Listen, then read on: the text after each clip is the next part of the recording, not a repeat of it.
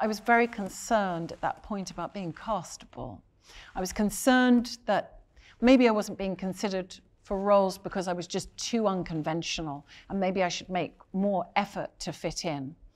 And then I thought, no, I'm not going to make any effort to fit in. Hi Vogue, I'm Gwendoline Christie, and this is my life in looks. Before she starts to cry all the way through the filmed feature.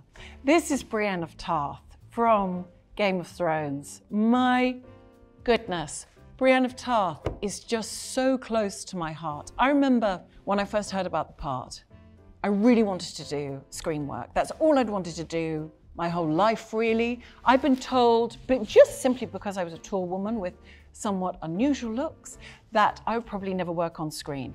But that was a long time ago. And this part had been lovingly crafted by George R. R. Martin, who famously said, when asked, How come you always write such brilliant feminist characters? He says, I always think about women as people.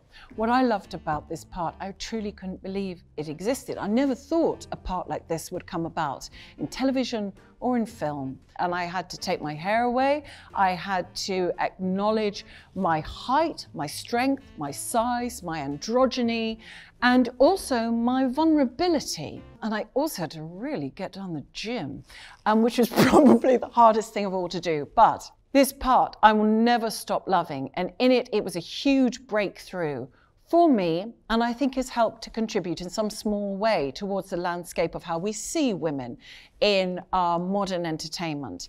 Because the amazing thing was, people loved the character.